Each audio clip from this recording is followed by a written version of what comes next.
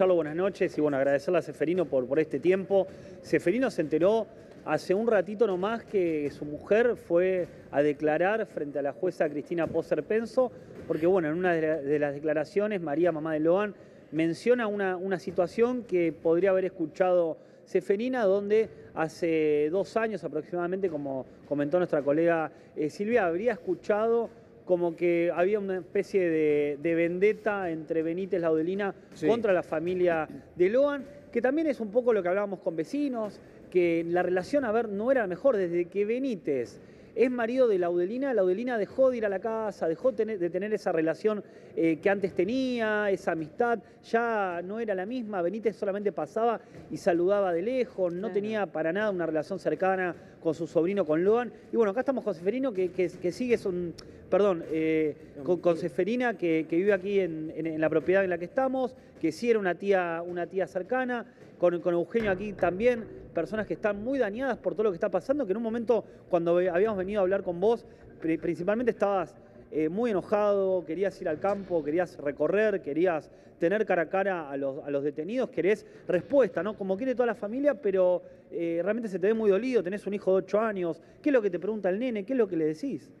Y mira, mi hijo ayer, ayer me preguntó cuándo va a venir y no le supe responder porque no, no sé si ojalá que sea mañana o que no traigan ya la lectura, que aparezca la lectura, pero ¿qué quiere que le diga a mi hijo? No le puedo decir, no, se lo llevaron o que no sé qué es lo que hicieron con él.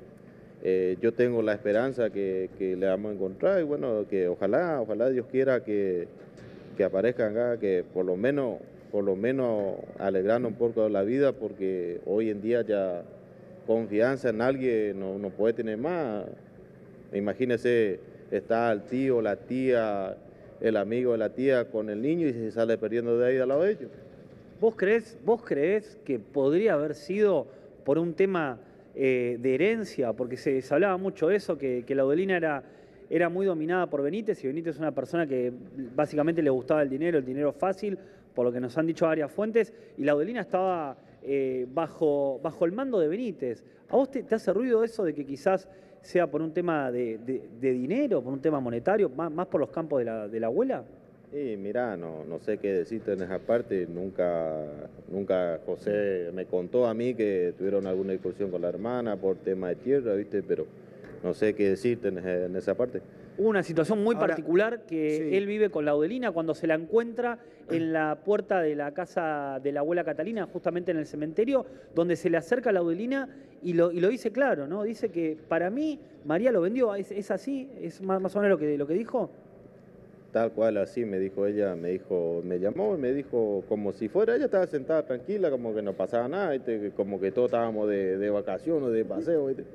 Y me llamó y me dijo, vení, quiero hablar con vos. Y me fui. Y le digo, ¿qué está pasando? que me dijo, ¿vos qué pensás? Me dijo, ¿de qué? Le digo yo. Y ahí me dijo, ¿vos qué decís, María? ¿Qué tiene María? Le digo así, ¿María le, hará vendido el hijo? Vos estás loca, le digo. Bien. No, ni loco, no va a vender María, no. Cristian, Cristian. Creo que, creo que ella, ella se quiso sacar una soga del cuello, pero que precisamente te iba a preguntar algo de eso y vamos a seguir hablando de esta situación. Dame un segundo, demos un segundo nada más, porque Facu Muñoz nos está llamando, estamos en vivo y en directo. Sí, en Goya. Facu, estás en vivo y en directo en Goya. Ahí declararon, ahí fueron las declaraciones. ¿Qué pasa ahora? Hola Carlos, Mariana, muy buenas noches. Una jornada llena de, de principio a fin de eh, declaraciones, ¿sí? toda la familia de Loan, o parte en realidad de la familia de Loan, que empieza a declarar ante la justicia federal de Goya, ¿sí? Cristina Poserpenso. Eh, en primer lugar fue eh, la madre de Loan, María Noguera, que llegó a este lugar alrededor de las 8 y 50 de esta mañana, junto con José y junto con César, su hijo, eh, uno de los hijos, uno de los tres hijos que tenía que venir a, declarar el día de hoy. Eh, el primer turno fue de María, estuvo cuatro horas eh, ante la jueza Poserpenso declarando. dijo una de las, entre una de las tantas cosas es que nombra a su hermana, su hermana Seferina, ¿sí? una persona que hasta el momento no estaba en nombre de la justicia. Ella lo que dice es que su hermana escuchó hace seis meses una discusión entre Benítez y su pareja Laudelina y allí Benítez le habría dicho a, Laudelina, no te preocupes que le vamos a pegar donde más les duele, eh, ah. refiriéndose a la familia de Loan. Y acá, Esto es lo que más le llama la atención a la jueza. Y, y, hagamos un punto en eso, que, decís que es clave porque otra vez vuelve la teoría de algún tipo de vendetta familiar, en donde evidentemente, ¿te acordás que lo habíamos dejado de lado porque estábamos apuntando también al tema de trata? Hay que ver si, si en, esa, en esa vendetta, en definitiva, no, terminan entregando a Loan para la venta, pero que originalmente esto pasa por una interna familiar muy fuerte. Digo, estamos a 55 días de la desaparición de Loan y ahora estamos mirando exclusivamente a la familia. Exacto, el ojo de la justicia hoy está puesto en la familia y esto fue clave y revelador en estas horas. ¿Por qué? Porque después de María venía eh, José, eh, eh, que bueno, también se descompensaron ambos en, el, transcurso del día, se descompensaron, hubo una ambulancia con dos médicos que ingresaron al lugar, les dieron algunos ansiolíticos, eh, les, controlaron la, presión y demás. después de José venía César, pero ¿qué pasa? Antes de César la jueza llamó de urgencia a Seferina, la hermana de María, que había dicho esta frase reveladora en la causa, dijo necesito que venga directamente a declarar hoy. Entonces, antes de César, llegó Seferina, declaró también durante más de una hora y media ante Poser Penso y después sí fue el turno de César que es el, hermano de Loan al que le secuestran el celular, que le llega una foto de una de las hijas de, de, Laudelina, él la elimina y por supuesto eso llama la atención de la justicia. Después fue el turno de Fernando y finalmente el turno de Alfredo. ¿sí? Eso fue todo lo que sucedió hoy en un día que arrancó a las 8 de la mañana y hasta estas horas de la noche, eh, hasta ahora eh, continuó, ¿no? Bien, Facu, vos estás ahí en Goya, estás en la puerta de la Fiscalía y además acabas de aportar un dato que tiene que ver con esto. Seferina, un nombre nuevo. Estamos el 9 de julio y hay alguien que conoce muy bien a Seferina, que es su pareja. Y ahí está Cristian Eche. Cristian, todo tuyo. Así es, Carlos. Estamos aquí justamente esperando que, que llegue, ¿no? Que llegue tu señora, porque realmente eh, Eugenio eh, se, entera de, eh, perdón, Virginio se entera de, todo por los medios de comunicación, porque ve, llega a la casa de Loan y se encuentra que, su mujer se había ido a declarar frente a la jueza Cristina Poza Pero acá, La verdad está sorprendido porque no entiende por qué. No, total. Y, Virginio, buenas noches. ¿Sabés que te quiero consultar? Digo, Seferina en los últimos días cuando estaba transcurriendo toda, toda la investigación por el caso Loan, ¿qué, te había comentado? Porque digo, lo que declara en la justicia también es importante para entender si había alguna pelea familiar muy fuerte, una interna muy fuerte. ¿Qué te dijo a vos? Mira, te soy sincero, este, yo salgo de acá, salgo 6.40, voy a mi laburo, vengo a las 12 y me siento a almorzar, conversamos así, pero nunca tocamos de ningún tema de eso. Y, le pregunto ¿no? qué alzaron los estados y qué noticia hay, nada más. No. de ahí ya tengo que salir a laburar de vuelta y vuelvo a siete y media y no, no es que tenemos el tiempo sentado a conversar. Claro. Ahora, Virginio, cuando vos estás con tu pareja, con Seferina. Seferina dijo, yo escuché esto hace seis meses. ¿Ella te comentó de esa discusión a vos? No, y me estoy enterando por usted, no me estoy enterando. Nunca este, supiste nada. ella sabía, nunca, nunca, nunca me contó nomás. ¿Dos? Nunca me contó nomás capaz porque siempre, viste, conversamos de, de otra cosa, menos de eso, viste, no, no, nunca recordó ella eso. Sí.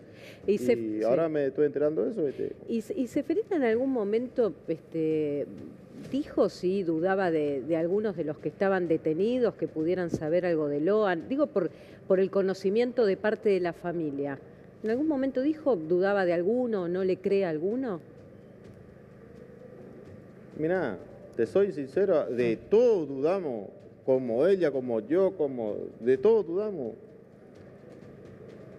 Claro. Totalmente. Eh, quiero, eh, Cristian Virgilio, que están eh, ahí, voy a sumar eh, a la charla a Carmelo Napoli esta noche. ¿Cómo estás, Carmelo? Hola, buenas noches, Bienvenido. Mariana, ¿cómo estás? A Fernando Cardini, ¿cómo estás? Mariana, ¿qué tal? Placer. ¿Qué tal?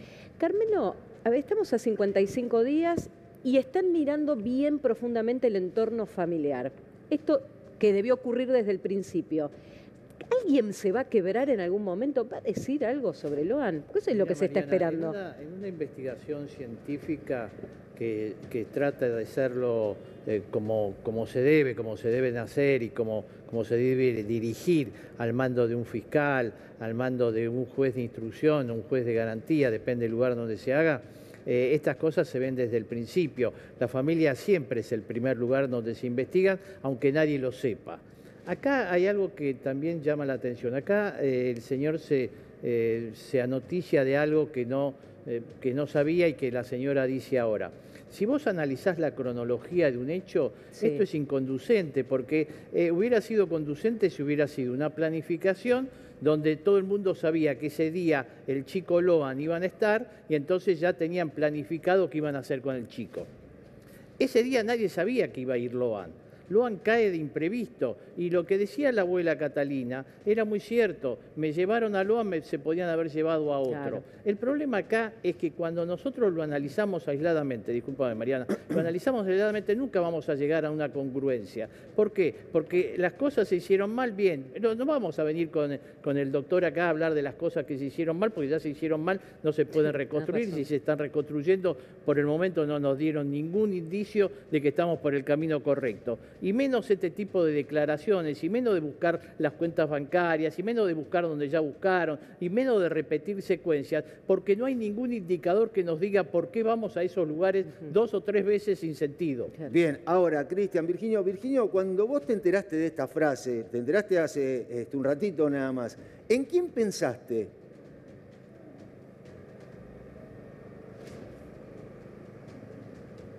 Para vos, ¿quién fue? ¿En qué sentido? me- Claro, porque dijeron, ya te- le vamos Bien. a pegar donde más le duele. ¿En qué pensaste cuando escuchaste esa frase?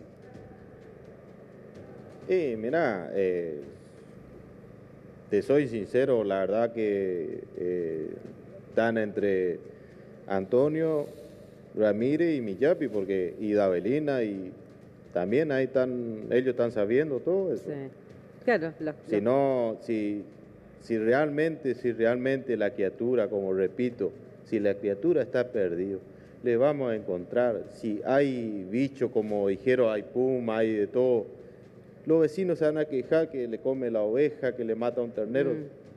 La criatura no, no está perdida, la criatura le, le llevaron. Sí, claro. Realmente, voy a ser sincero, le llevaron. ¿Cómo no la vamos a encontrar? Sí. Claro, nosotros hemos hablado con el intendente, hemos hablado con vecinos que, por ejemplo, si se pierde un caballo, una vaca, una moto, el vecino viene, la, la recupera al toque. Ahora, acá se perdió una criatura, no se sabe nada. ¿Vos qué opinión tenés, por ejemplo, del ex comisario hoy detenido, Walter Maciero? Una persona que rojo, o sea, básicamente colaboró en que no, en que Loan no se ha encontrado. ¿Qué, opinión tenés? No sé si en algún momento te lo has cruzado o has tenido una opinión de él.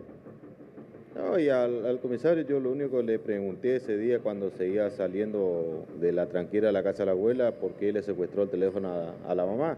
Y me dijo que tenía una, una orden. Y le dije, ¿y a dónde está la orden? Y me dijo, no, no, no.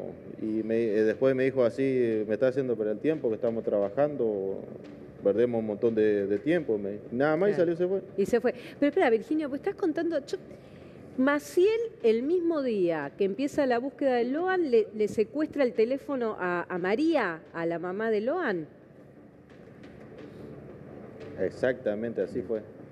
¿Y qué explicación? Porque está bien que vos fuiste a, a decirle, bueno, ¿por, por qué estaba haciendo eso? Porque lo que dijo Laudelina, quizás.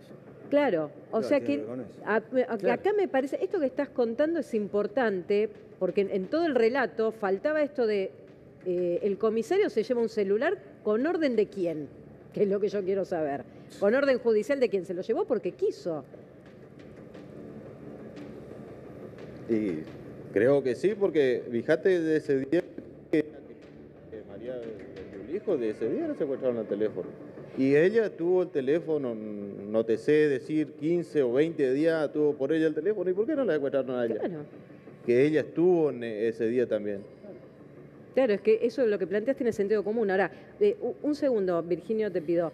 Eh, Fernando, a ver, co- con, esto de eh, empezar a peritar las cuentas, viste que ahora hay 48 millones de pesos en la cuenta de, de los hermanos mayores de Loan, ellos dicen que esa plata llegó posteriormente porque empezaron a recaudar para una fundación.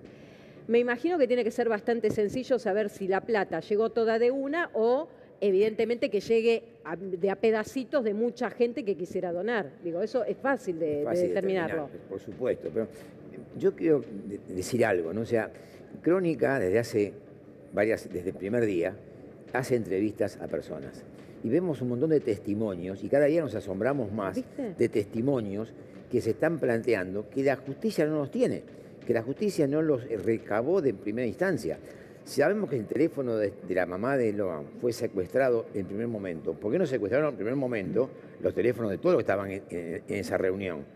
La, la que menos tenía que haberse, el último, tenía que Sí. sido el teléfono de la madre, que no estuvo allí.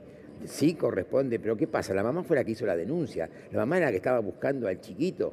Entonces había que, había que bloquear justamente las comunicaciones de la madre. Fíjate que está todo armado por ese comisario. Sí. Este, está todo muy armado y ¿a quién estaba protegiendo? Justamente a los delincuentes que se habían llevado al chico. O sea, eh, si uno ata los cabos de todo esto y va, va- va viendo el proceso y con todo lo que ustedes hicieron durante tanto tiempo de, de re- de entrevistas que hicieron con un montón de gente, Sí, sí. familiares, vecinos y personas, se puede haber reconstruido perfectamente el proceso de investigación que no se hizo. Sí, O sea, los teléfonos, los allanamientos, Sí. los lugares, la- la- los seguimientos, to- todo eso lo que no se hizo se puede haber hecho solamente con los testimonios que se fueron recabando en estos 54 días. Bien, Fede. No, a ver, preguntarle a Carmelo, porque lo que, de los que venimos siguiendo el caso y leyendo, yo creo que esta vez el conflicto familiar, el campo, esta declaración de eh, te vamos a dar donde más duele, ¿no parece ser algo más o menos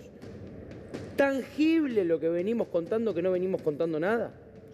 Sí, correcto, correcto. O sea, eh, la familia había que haber investigado el primer momento, Sí, junto bueno, con todo el resto de personas. O sea, y, había- y ahí se iba descartando cada teoría del caso.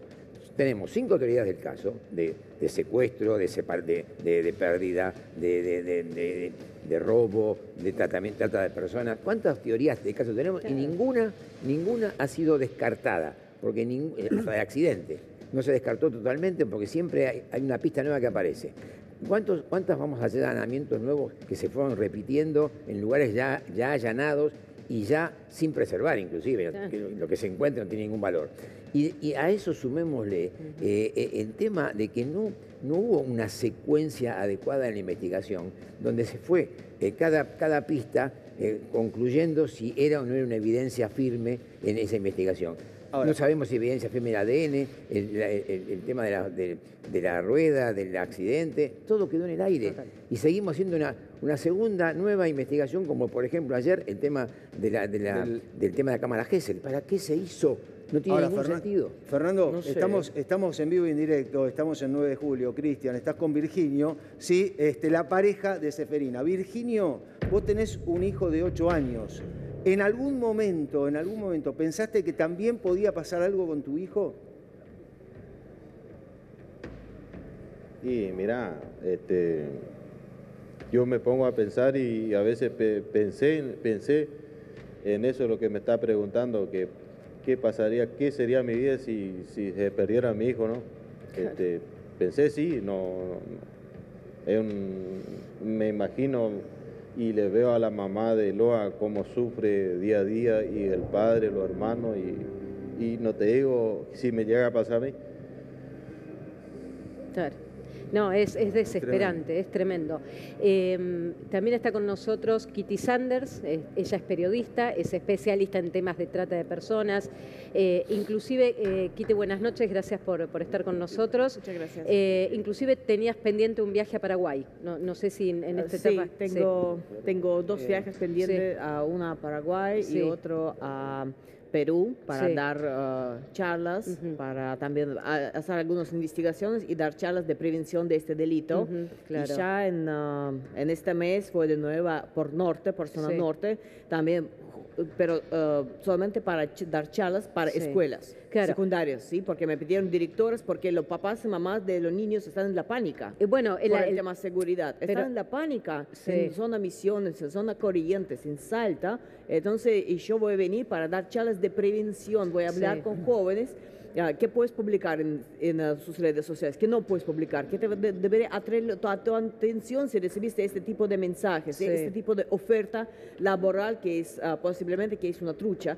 ¿Qué puedes hacer? ¿A qué línea llamar Bueno. para averiguar si existe empresa o no existe? Entonces, Sí. este clave que quiero dar para prevenir este delito, porque eh, obvio que caso Lon es una drama total, Sí. pero vivimos al lado y noso- al lado de nosotros hay trata de personas que tiene Sí. presencia en cada ciudad de, nue- de nuestro país. Entonces Kitty. debemos saber a- cómo actuamos. Es que es lo que estaba diciendo recién este Virginio. Exacto. El temor, Virginio, vos decías recién, el temor que pudo haber sido mi hijo. Ahora, ¿qué va a suceder con Seferina? Porque acaba de dar una declaración, creo que es la más importante del día, porque dijo, yo escuché tal cosa, ¿qué va a pasar con ella? Sí, mirá, si ella escuchó esa versión, bueno, este que tiene que ir a informar porque todo es útil, toda la, información que hay, pista, todo nos sirve para llegar a la verdad, ¿no? Claro. Eh, Virginio, sabés que eh, recién cuando, cuando escuchaba a, la colega especialista en trata de personas, vos sabés que eh, esto de empezar a ayudar a los padres y a los chicos para evitar justamente que se lo lleven en alguna red de trata, que es el miedo que vos estás contando por, por tu hijo. ¿Cómo se vive ahora después de lo que pasó con Loan? ¿Cómo es el día, al di- del día a día en el pueblo? Mirá, eh, el día a día acá en el pueblo viven de la mano, pendiente de su hijo. Yo acá, mi señora, este, mi hijo a la siesta no quiere dormir, eh, le está llamando a cada rato, le está mirando, el vecino le está mirando al otro su hijo que no se salga lejos de la casa, porque hoy en día ya no podemos esperar más nada. Sí. Y además, Virginio, tiene que ver con la familia, porque sucedió en una casa familiar. Si, por ejemplo, viene cualquier integrante de tu familia y dice, me voy con, este, con el chico a pasear, ¿vos lo dejás ir? No, no, no, no, no le dejaría ir ni, ni a la esquina. Claro. Eh, En algún momento vos o, o tus familiares, familiares de Loan, piensan en irse de acá el 9 de julio, porque yo, a ver, la verdad que el recuerdo de estar de la canchita de fútbol, la plaza, todo, Claro. es muy fuerte. Yo no sé si, si pensaron parte de la familia en, en irse en algún momento aquí el 9 de julio, a otro lugar. No, de acá, por más que te vayas donde te vayas, si no tenés tu hijo con, contigo, no, no es lo mismo. A donde te vayas, has pensado en tu hijo, te falta tu hijo. No, no, no, no. No creo que, que tome una decisión así por irse porque le falta un hijo. A donde te va, te va a falta tu hijo igual. Sí, sí, te va- sigue, sigue el dolor, Virginia, tenés to- toda la razón. Gracias por, por estos minutos eh, que nos dedicaste, la charla y, y sobre todo este, también conocer algo que yo no, no tenía, esto de Walter Maciel llevándose el teléfono de, de María, que ahora lo vamos a profundizar. Eh, gracias este, por tu tiempo y Cristian Eche, como- Gracias a vos, gracias, gracias, gracias a todos ustedes y gracias a, los medios que están haciendo la aguanta acá para que esto salga toda la luz, que Claro. ojalá Dios quiera y la Virgencita que nos acompañe y aparezca Loa. Muchas Tal gracias. cual. Es más, le, Cristi- le- sí. le voy a decir una cosa, nos vamos a quedar acá con la cámara un rato hasta, Sí. hasta que llegue su señora para asegurarnos que llegue bien, que va a estar bien y no sé si van a poner a una consigna policial o van a poner a alguien también para, para la seguridad de la familia eh, de, de Virginio para, y para Seferina, por lo menos para asegurarnos que, que ella llegue Tal bien, cual. porque entiendo hoy en día las cámaras eh, de televisión que transmiten a todo el país también es una medida de seguridad para toda la gente que está por lo menos alrededor de la causa. Cristian. Gracias Virginio, te, te- te dejo para que vayas a Pero Cristian, cocinar a una, tu- una cosa, espera que ahí eh. decís una Gracias, cosa querido. este, clave. ¿Por qué quieren seguridad? ¿Se sienten con temor que alguien los pueda... que ellos pidieron seguridad, tanto Virginio como, como Seferina? No es que la pidan, pero detrás de cámara uno, uno entiende que hay miedo. Claro. Hay miedo, no solamente de ellos, de todos. Por eso hay una fuerte custodia de la FELAL siempre en la casa de Logan, por eso la custodia en la casa de Camila, así en, en lo de Macarena, Sí. y así también en varias personas que hoy son testigos protegidos. Que bueno, a ver, hay gente eh, que hoy es testigo protegido porque tendría una información o porque el día Claro. de la desaparición de Logan o el día anterior escucharon algo, vieron algo. Por eso hay gente con miedo aquí en 9 de julio que hasta el momento no se anima a hablar, pero lo que yo le decía es, mostramos el camino ese de allá, donde está mostrando acá todo el equipo que está trabajando, Marcos, Cristian, Pablo en cámara, Sí. Matías, mostrando el camino que va a ser en un ratito nomás Seferina, que va a llegar desde Goya, desde el tribunal Sí. eh, de Goya, el Tribunal Federal, donde estuvo declarando frente a la doctora Cristina Poser Penso, en esa calle donde estamos apuntando va a llegar un vehículo con personal del Poder Judicial y ahí va a venir Seferina a reencontrarse con su marido y con su nene de 8 años, Sí. el cual no vio en todo el día. Así Eh, que estamos acá para ver si podemos tener unas palabritas con ella. Tenés, tenés prioridad y, te- y vamos a abordar en, en unos minutos con vos quiénes son los testigos protegidos y por qué es clave que estén con custodia. En minutos tenés prioridad esperando la llegada de Seferina de declarar desde Goya. Gracias.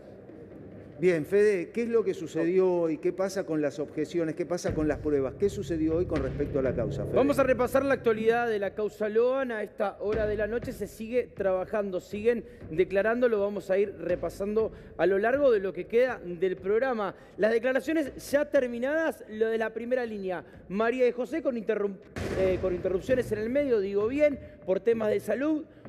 Hablan de un ataque muy eh, sistemático y puntual del doctor Hanson, queriendo poner responsabilidad plena en María y José y quizás sembrando algún tipo de dudas sobre qué pasó con Loan, apuntando directamente a la mamá y al papá. Eh, Fede, Sí. el, el tema que ya habíamos hablado y que definitivamente la justicia y la, y la jueza Poserpenso pidió la pericia, sobre el dinero que tienen los hermanos mayores de Loan en su cuenta.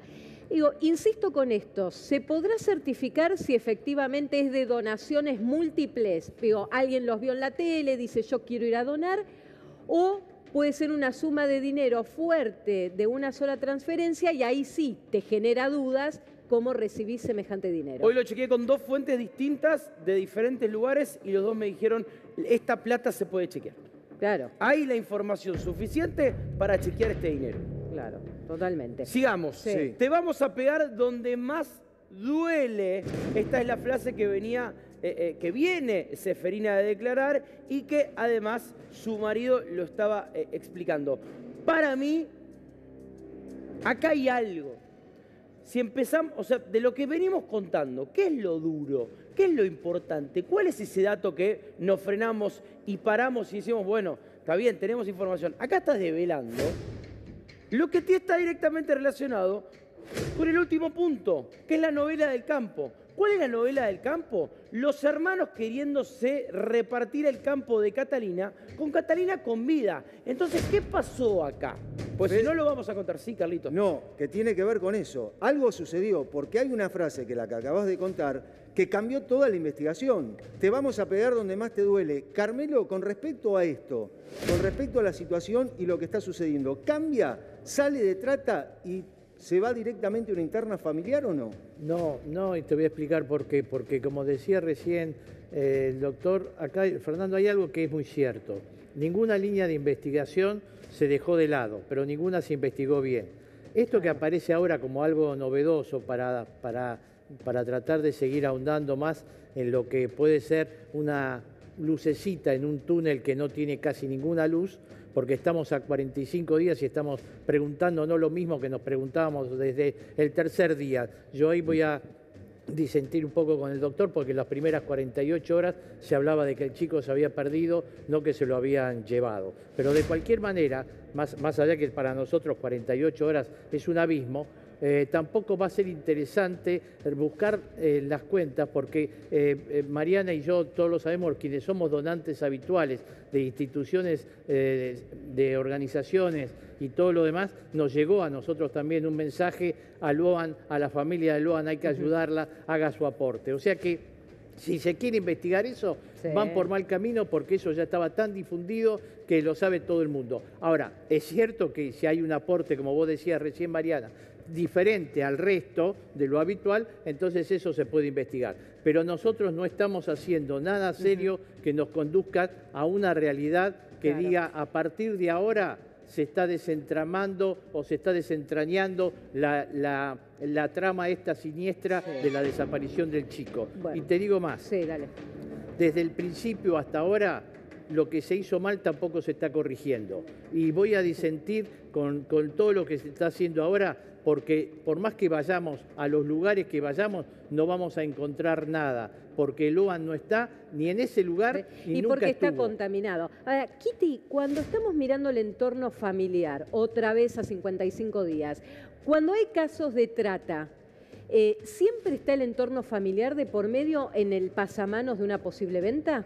Ah, mira, son casos de trata, realmente son, ah, hay varios tipos de casos de trata, Sí. ¿sí? Ah, ahora hablamos sobre casos de trata de menores ah, de 5, 6, 7 años de edad. Sí. Eh, son casos muy eh, particular porque am, cuando trata de personas trabajan con los chicos de 12, 13 y 15 años, utilizan la otra manera. Entonces, con los niños siempre hay eh, secuestro físico de edad de 5, 6, 7 años o entrega familiar a un lugar. Entonces, puede ser que familia, eh, hay casos cuando ah, eh, chicos fueron secuestrados, como Sí. muy parecido al caso de, de Guadalupe, ¿sí? de la nena Sí. de San Luis, de- de, eh, que fue desaparecida desde el año 2021, que fue secuestrada desde el patio de su propia casa. Entonces puede ser que fue secuestrada sin participación de los padres y en este caso de Loan, un caso bastante raro, ah, me parece que fue, eh, el niño Con- fue llevado ¿sí? para entregar. Con la participación familiar. Fede, Claro. seguimos con lo que sucedió hoy. Un día importante en lo que tiene que ver con la Es investigación. claro, estábamos en el tema de la novela del campo, para explicarla que está directamente relacionado con la frase, pues si no uno dice, lee esta frase y ¿qué, qué dice? ¿De dónde viene? La familia de José se quería o quiere o intenta repartirse el campo de Catarina en vida.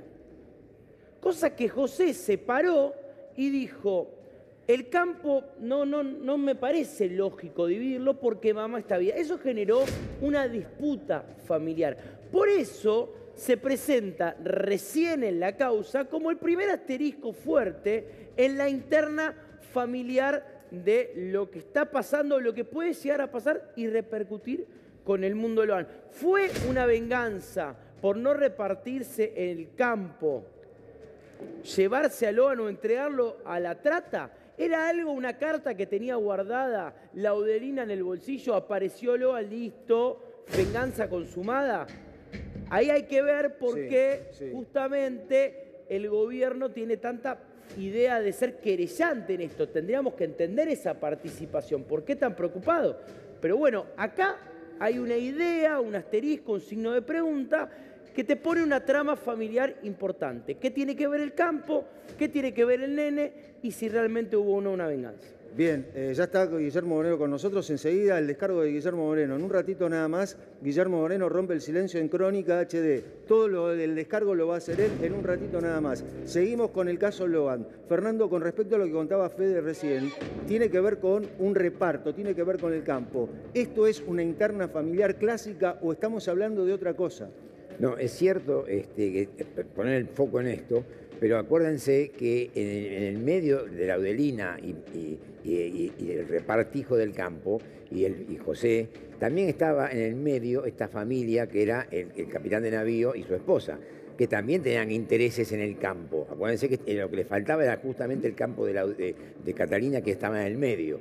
Y hay gente que tenemos antecedentes que, se- según todos indicaban, que eran usurpadores de campos. Así que entonces, ¿por qué no una asociación entre la Audelina, esta gente, y todos hicieron toda esta sumatoria que no podemos dejar de investigarla? Claro. O sea, hubo una conexión. Entonces, no, no dejemos solo a la familia en el problema, que fue una venganza o una solamente Claro. eso. No, Hay algo más. concuerdo. Ahora, Néstor, hoy es día 7 de agosto. Yo eh, primero pienso en San Cayetano y el segundo tema es la jueza tiene que definir la situación procesal de los detenidos. Si los libera o tiene que extender o ir a una preventiva.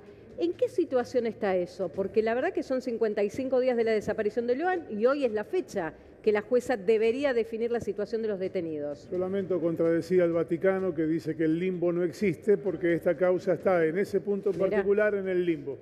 Eh, hoy la doctora Chiribín esta mañana eh, decía concretamente que se están venciendo los plazos procesales para resolver la situación procesal de los siete detenidos, entre Sí. ellas su defendida Laudelina, Claro. y que no se han cumplido con esos plazos que hoy mm, eh, contaban los abogados, como hay detenidos, son plazos de cumplimiento estricto.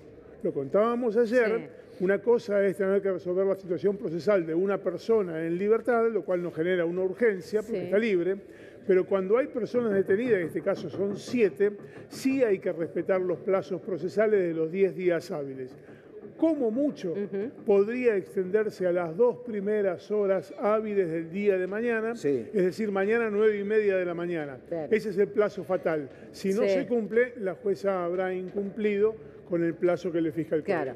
Carmelo, si no, a ver, si no se toma la decisión de la liberación de los detenidos, ¿puede ser una estrategia para seguir presionándolos a ver si alguno se quiebra y habla? Ese es lo único que nos queda, porque si no, como decía recién tu compañero, la paradoja se va a dar en que lo van a dejar en libertad por, por los mismos motivos que lo metieron preso, sin Claro. ningún motivo. Entonces ahí está el quid de la cuestión. No tienen elementos para seguir reteniéndolo ni para declararle la, determinarle la previsión preventiva y si los deja libre, hay elementos como para decir por qué lo dejaron libre si todavía no terminamos de hacer la investigación.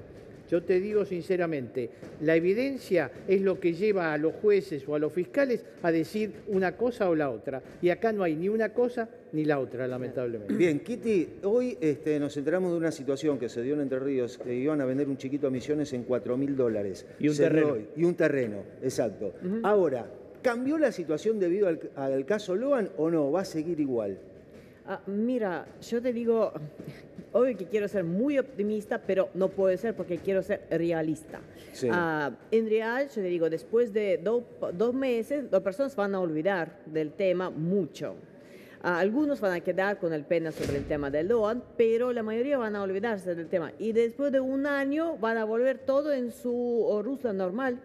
Ah, porque es como pasó con Guadalupe. En el año 2021, cuando chica desapareció, en primer meses la prensa estaba publicando todo, fue caso bastante mediático, pero después de 3, 4 meses ah, dejan de hablar sobre ella y cuando desapareció Loan, en, en día 4 comunicaron conmigo periodistas y dice, Kitty, es un caso Loan omiso, nunca pasó. Yo digo, ¿cómo nunca pasó eso? Mira. Sofía, Guadalupe. Mira, no pasó ni tres años que desapareció una Claro. chica y, y ya no te acuerdas. Y ya hay otro caso. Hoy hubo Claro. Un intento de otro caso. Esto- eso, por eso yo estoy Claro. aprovechando este momento para dar charlas, entrevistas, tratando de cambiar la situación y difundir lo más información que posible, porque yo sé que después la ola van a caer de interés Sí. y las personas van a volver de, de misma rutina. Bueno, pero igual yo coincido lo que hablamos en los últimos días, que el caso Loan es una bisagra para tomar otras medidas con respecto a los menores, la desaparición de los menores y con el alerta Sofía y con todas las herramientas trabajar más seriamente en la Argentina. Fernando, cuando está la parte de la familia detenida y afuera también empieza a haber diferencias en, la familia de Loan, ¿Por qué nadie se quiebra? Porque yo, yo no sé si es que hay un pacto de silencio efectivamente entre todos o nadie se quiebra porque cada uno tiene algo distinto para ocultar. Mira, eh, nadie se quiebra porque no hay ninguna evidencia, lo que hablábamos recién. Eh, entonces prefieren dilatar la cosa porque a la larga van a quedar todos libres. Pero están presos. Yo te, yo No digo una cosa, no yo, no- yo importa, nunca pero- estuve presa, yo digo lo mismo, pero me imagino estando presa, no sé, canto hasta el, no sé, hasta lo que no sé. Pero es que el tema es, la- es poner en la balanza qué conviene, hablar o no hablar. Primero que muchos de ellos deben estar presionados, inclusive hasta amenazados. ¿sí? o la Por- plata por el- puede más. Por el sistema. La plata puede, pero me parece que es mejor callar que hablar para ellos. O sea, eh, entonces están en la, en la fácil. Bueno, si vi- tuvieran una prueba en contra, si tuvieran alguna evidencia o algo que los, este, digamos, que tuvieran que, que- que- que estar procesados por algo, que se, no tienen nada. Entonces ellos saben muy bien que no tienen nada. Y el comisario prácticamente está súper protegido. Entonces, eh, el, el capitán de navío, lo mismo, eh, no, no hay ninguna evidencia, todo lo que se hizo de su casa, de su auto, Sí. todo lo demás, no hay nada. Entonces, perfectamente ellos mantienen, el, el- el, digamos, el silencio, porque va a ser lo mejor que pueden hacer para que esto quede en la nada. O sea, Carmelo quiere decir que en cualquier momento están en libertad. Bueno, eh, nosotros no somos jueces para, Sí. para poder hacerlo, de- decidirlo, pero si los jueces se tienen que basar en evidencia, no van a tener nada para dejarlos detenidos todavía. Ahora, insisto sobre el particular, hay una alerta internacional, está todo el mundo detrás de Loan, está todo el mundo pensando que algo se tiene que, que hacer para que aparezca. Lamentablemente, lamentablemente, nosotros como profesionales de la medicina, Sí. de medicina forense o de investigación científica del delito, siempre tenemos la esperanza de que algo ocurra, aunque sea un hecho fortuito, para que nos lleve al camino que nos tiene que llevar. Lamentablemente yo no soy tan optimista, pero si hay justicia, que haya justicia para todos por igual. La guardia invigilando siempre fue la misma, que yo sepa siempre fue la misma. Mi abuela no me dejaba salir a la calle si no sabía dónde iba y con quién iba. Sí, sí, claro. Acá al chico lo dejaron ir solo con alguien que para ellos era un desconocido a un lugar que era menos conocido todavía. Vos me decís ahora, ¿eso es irrelevante? No, No. porque todo tiene un origen. Es de y cuando el común, origen es claro. pernicioso y vicioso, es como el árbol del fruto maduro. Todo nos sirve. de Todo- amigo, eh. Todo se aleja de Pérez y Callaba. Ah, claro. Cada vez que la trama, cada vez que arranca la trama, hablamos de la familia, hablamos de la Laudelina, hablamos de Maciel, hablamos de Seferina ahora. Uno se siguen agregando personajes. Tienen que declarar los hermanos. ¿Y Pérez y Callao? ¿En qué parte son eh, eh, manchados, Pero ahí- identificados, culpados, responsabilizados? Ahora, Todo lo que contaron acaba de ser terminado de chequear ayer.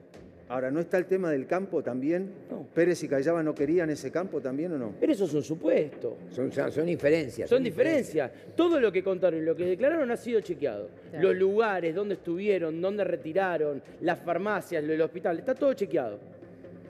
Y no va a pasar nada. Bueno, pero No, es que. o, están, a ver, o están más cerca de la libertad que otra cosa.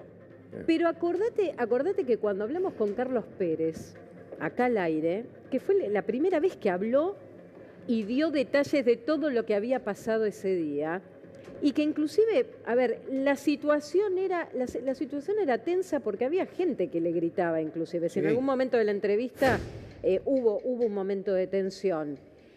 Y él, la verdad es que contestaba con una naturalidad. Hasta me acuerdo una de las psiquiatras forenses que dijo con una especie de relato eh, todo florido del evento. ¿Se acuerdan esto de yo, yo me crucé con un animal, decía Carlos Pérez, con una, con una oveja?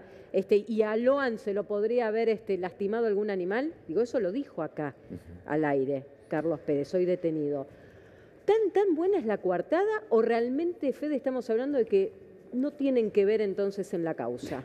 Yo cuando, a ver, no sé, eh, Néstor, si acá eh, te tocó leerlo, pero me tocó leer las 12 indagatorias. Son, lo digo con el mayor de los Sí. respetos, brillantes.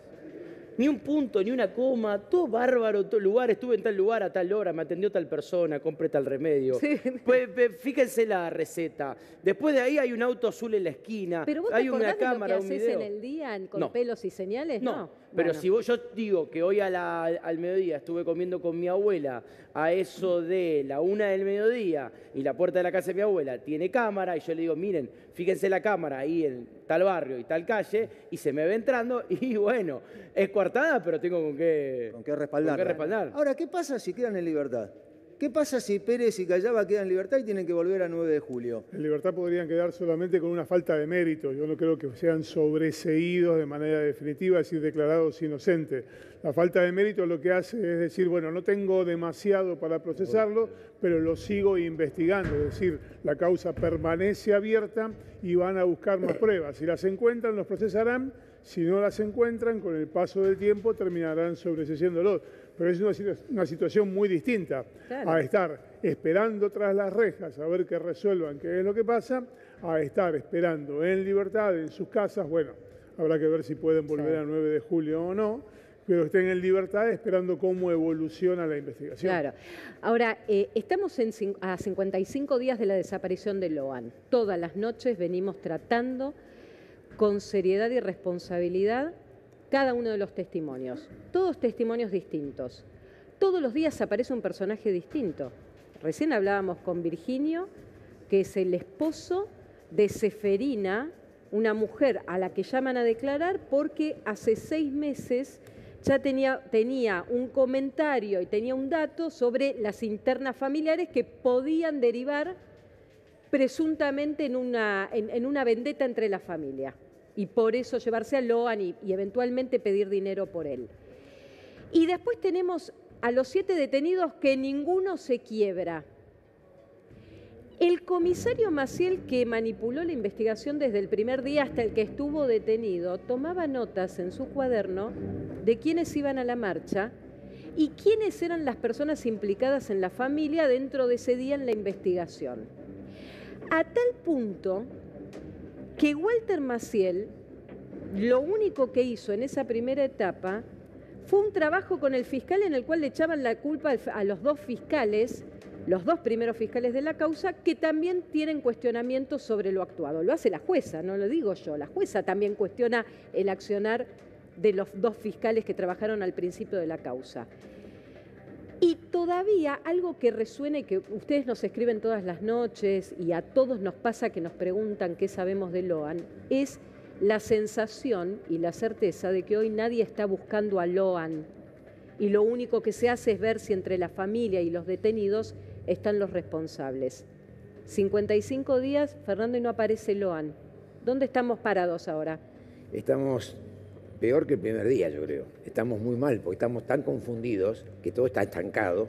Y fíjate que todas esas inferencias que estuvimos hablando, que no fueron demostradas como evidencia, no se investigaron. O sea, recién decíamos, esta gente usurpaba campos, demostrarlo, se puede demostrar. Esta gente tenía una clínica donde vendía chicos este, que, embarazadas que perdían los bebés, investigalo. O sea, todo eso, o sea, ellos pueden haber borrado un montón de elementos de esta causa porque los borraron. Sabemos que borraron porque el, comisario no lo detuvo a tiempo, a este, a este Callaba, y entonces directamente borraron todo esa, esa, mañana. Bueno, todo eso lo sabemos, sí. Sabemos que los teléfonos fueron, hay cosas borradas, sí. Ahora, anda hacia atrás y fíjate si esta gente realmente era una banda y trabajaba en, en el comisario con Callaba, con Pérez, con Laudelina, si realmente había una relación entre ellos, lo puedes investigar hacia atrás. Nadie borra cosas de hace dos años atrás o de un año atrás.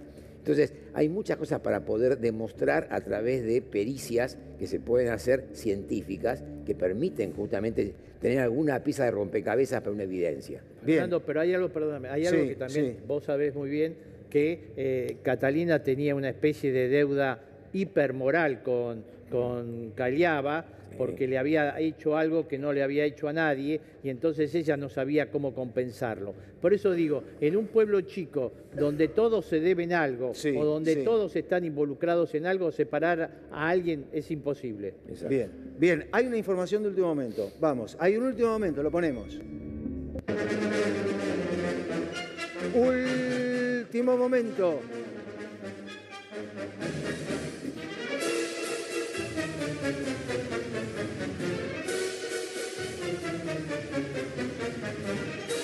Primicia.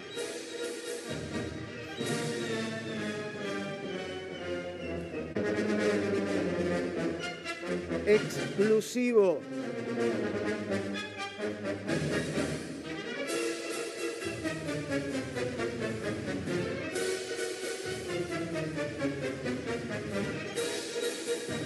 Está declarando César fuertes declaraciones del hermano de Loan. Laudelina me dijo que mamá vendió a mi hermano. Se suma a lo que recién nos explicaba eh, el marido de Seferina. Otra vez Laudelina en la eh, escena, otra vez Laudelina en el ojo de la tormenta, implantando una idea siendo parte de una coartada, siendo un eslabón fundamental en la desaparición de Loan, los que seguimos el caso entendemos que sí, que Laudelina tiene un rol fundamental. ¿Por qué César está declarando esto que viene siendo parecido a lo que recién nos contaba el marido de Seferina? ¿Hay algo de intentar implantar esta idea? Pero es una declaración muy fuerte. El tema es, César, ¿vos qué hiciste? Claro, ¿qué hizo para evitarlo si lo sabía? y no lo contó, porque a ver, César no fue el más mediático, si querés, era Mariano con el que charlábamos más, el mayor de todos los hermanos de Loan. Pero ¿cómo es posible que todo esto llegue en un proceso donde digan que la propia madre era la que había entregado a Obviamente que nosotros lo descartamos, la justicia lo descarta, eso lo quiero resaltar. ¿Y para Desde qué el día eso, César, entonces? Creo que me parece que está dando la información del rol de la Odelina. A mí yo lo que digo es, cuando me refiero a César, ¿qué hiciste? A mí si me dicen que mi mamá quiso vender un armado, me voy a enojar. ¿Y cómo no te vas a enojar? o sea, de, mínima. Pero lo mínimo que podés hacer es enojarte. Pero bueno. está vinculado a una interna familiar, vinculado, y valga la redundancia en este caso, a un, un tema de trata. O sea, te saco para castigarte familiarmente y entrego una trata. ¿Es así? Ah, puede ser, pero, me, pero me cre- me parece que hay mucho más intereses, no solamente para castigar, no es, no es solamente el problema interno de, de la familia, me parece que también hay algún interés material, ma- material de, de dinero, refiero Sí, sí. pagar una deuda o ganar alguna plata, algo de así, porque no puede ser ah, tan simple solamente para dañar un familiar, yo voy a vender a Loan. No creo. Vos decís que hay algo más. Me parece que hay algo más. Sí, Pero no, no dañar un, un familiar. Igual este, también, Belén, quiero que, que sumes información. Dale. Sí, quería sumar que Walter Maciel, recuerdo que en su declaración indagatoria, él también menciona que escucha decir a Laudelina que María Noguera había vendido a Loan. Eh, de alguna forma eh, está diciendo lo mismo que está eh, repitiendo ahora César ante la justicia. Pero espera, esto, Belén, es importante. O sea, estamos Eso está en la declaración indagatoria de Walter Maciel, el excomisario detenido. Pero los dos hermanos entonces están teniendo en común el mismo relato. Digo, o, o es César directamente el, que, el único que lo menciona esto. En este momento es César el que Sí. aún sigue declarando ante la justicia y hace eh, esa declaración que recién mencionaba Fede. Aún quedan otros dos hermanos por declarar, Alfredo eh, y... mm, Sí, se terminó el Belú. No Se van a- termina, se ¿no? acaba de terminar. Se acaba de terminar y dieron por finalizado el día. Ah, Queda todo para Entonces mañana. seguramente, claro, pasan para mañana. Sí, me Bien. lo acaban de avisar. Quedan Bien. pendientes los hermanos para mañana. Mañana declaran los A otros dos. partir de. eh, sí, eh, Fernando. Para mañana Alfredo, estaban dispuestos José, Mariano y Cristian y también ahora se sumarían los pendientes de hoy que son Fernando, eh, que son Fernando. Que van a que declarar mañana, porque hoy se cerró, Espera, Fede. pero qué fuerte, qué fuerte esto de que declara César, habla de la venta de su hermano y mañana tienen que ir el resto de los hermanos a declarar. Digo, esta va a ser una noche tremenda para la familia. A ver, Fede. Le metió digo, presión. No sé, yo, yo creo que lo. Yo creo que lo que está diciendo César, eh, quizás es mío el análisis eh, propio, están mostrando el rol de Laudelina, que como quizás lo que trae, lo que traen de Seferina y lo que trae el fiscal y lo que trae la jueza, es como seguir sumándole información a lo que dice Laudelina. ¿Carmelo puede cambiar la causa a partir de mañana y a partir de las declaraciones de hoy o no? No, porque vos fijate que Laudelina siempre fue la más vista, la más nombrada desde el principio. No es que a Laudelina tiene un rol preponderante ahora. Laudelina fue la prima donna desde el primer momento, que cuando se la empezó a conocer, todo el mundo decía, ¿por qué esta mujer no está presa? ¿Por qué a esta mujer no la llevan a declarar? ¿Por qué esta mujer dice lo que dice? Por eso digo, me parece acá que eh, yo creo que no, no va a cambiar, no hay ningún indicador de que cambie, salvo, como decíamos con Mariana. Mariana, cuando tuvimos la vez, la vez pasada, había un indicador que cuando salieron a declarar los hermanos la primera vez con la jueza, estaban más tranquilos, más sonrientes, más esperanzados. Nosotros dijimos acá, bueno, puede ser que le hayan dicho algo que eh, le dé un poco más de tranquilidad, como decir, por ejemplo, bueno, a partir de ahora vamos a hacer las cosas que se deben hacer y vamos a lograr algo con Loan. claro. Pasaron 40 días de ese principio que fue lo Sí. que estábamos acá y estamos preguntándonos lo mismo. Yo quisiera venir con el doctor en algún otro momento y preguntarnos qué cosas teníamos que haber preguntado Sí. o hacer ahora para que esto no se vuelva esto, a repetir. pero esto me, me dispara la, la siguiente pregunta, Fernando. Si ahora la justicia toma estas declaraciones y, y todo se va cerrando en el círculo familiar, entre los detenidos y los que están en libertad, es porque, y yo, y yo digo, bueno, lo que menos hacen es buscar a Loan, lo que están buscando es el destino final de Loan, entonces. ¿Me entendés que, o sea, quiero ser delicada con lo que te digo? Sí, yo, yo entiendo, pero ¿sabes qué? Todos estos testimonios son testimonios. Y son eh, eh, evidencias testimoniales que Sí. nunca tienen certeza. Mucha gente miente, mucha gente dice lo que cree que es la verdad y no es la verdad. Pero acá tenemos que entender eh, si realmente fue algo familiar.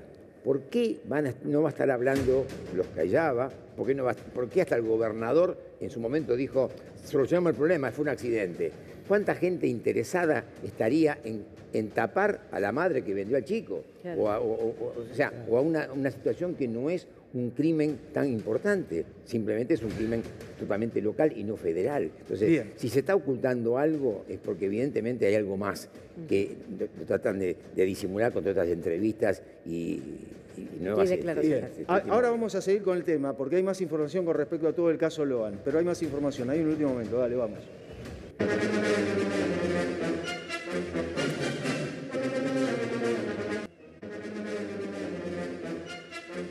Laudelina me dijo que mamá vendió a mi hermano.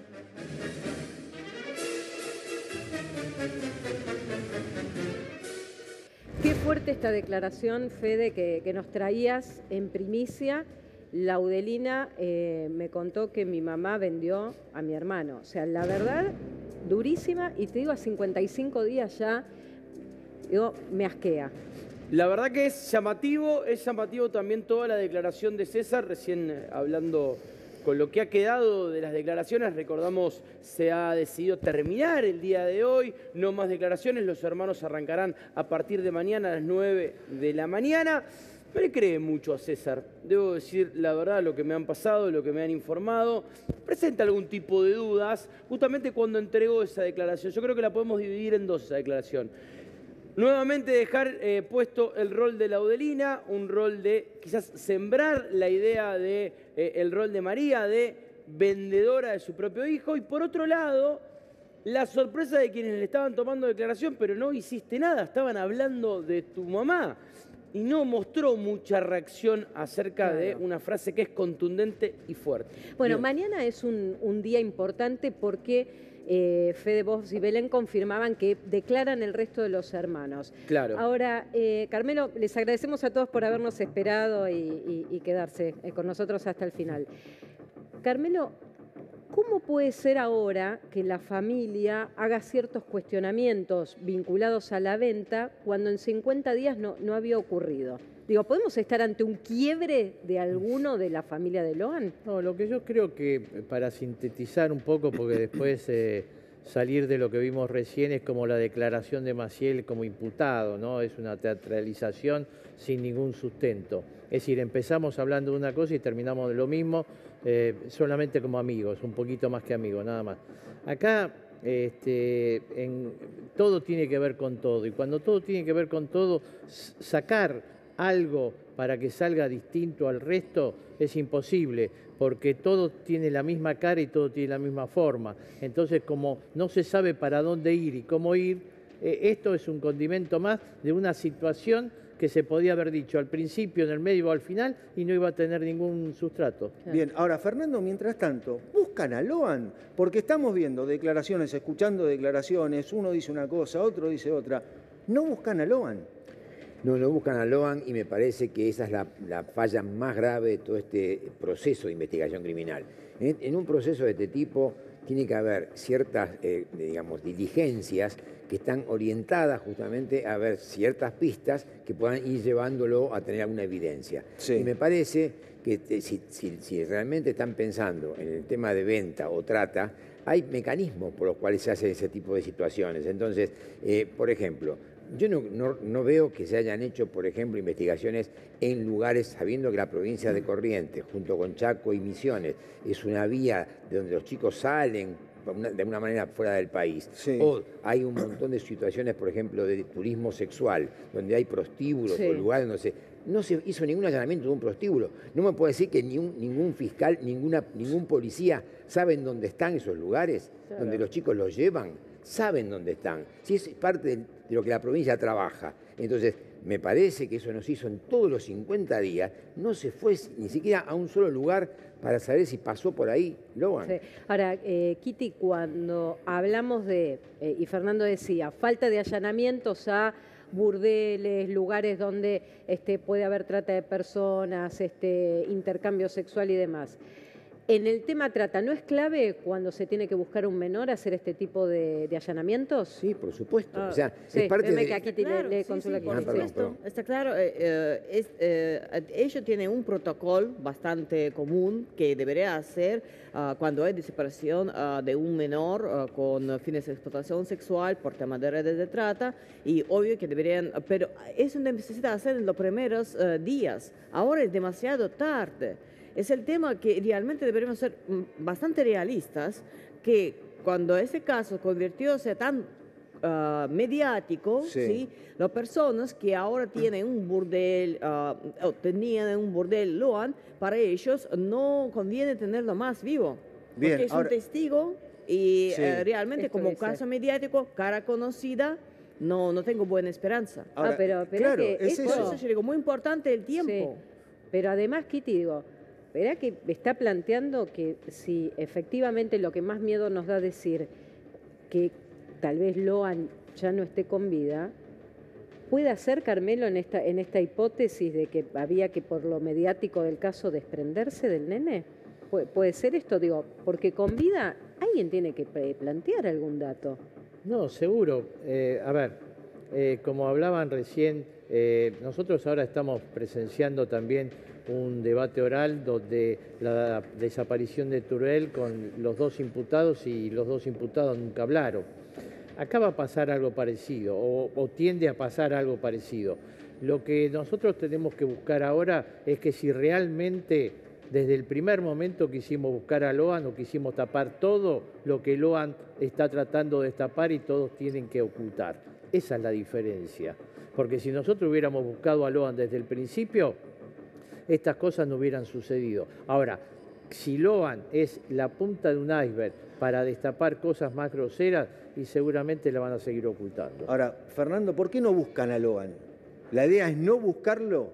Sí, evidentemente es no buscarlo porque están encubriendo algo. O sea, si no, eh, recién bien decía aquí la, la periodista, o sea, eh, ya es tarde para hacerlo de esto de los burdeles, pero no es tarde con la tecnología que hoy tenemos, saber los movimientos que hicieron todos estos individuos que están Ah, claro. involucrados, si se movieron en esos burdeles.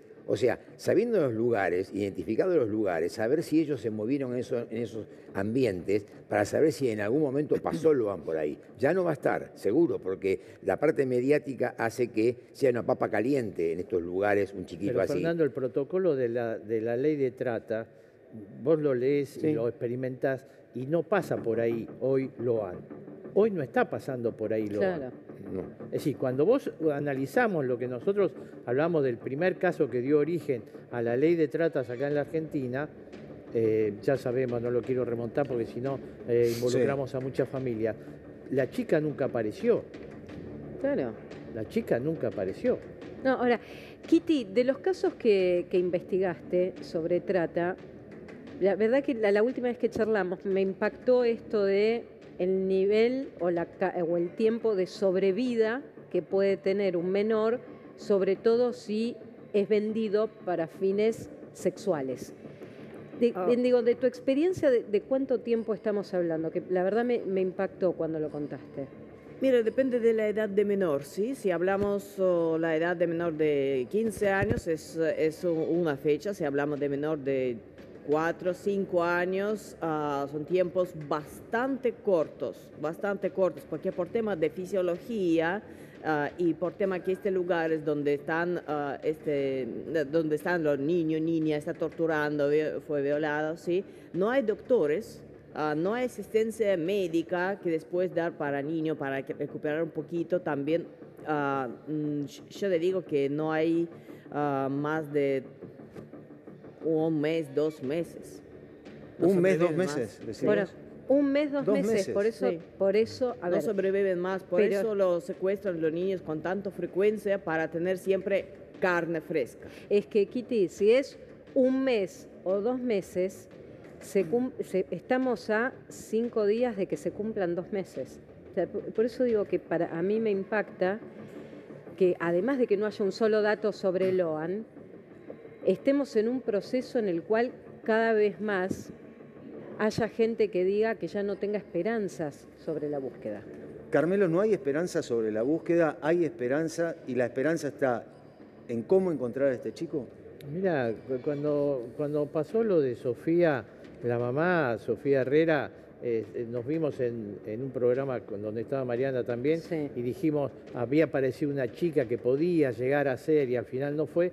Y, yo le decía a la, señora, a la mamá, nunca baje los brazos, nunca pierda la esperanza, esté siempre eh, con, con la mente predispuesta a que un día algo va, va a suceder y algo se va a saber la verdad.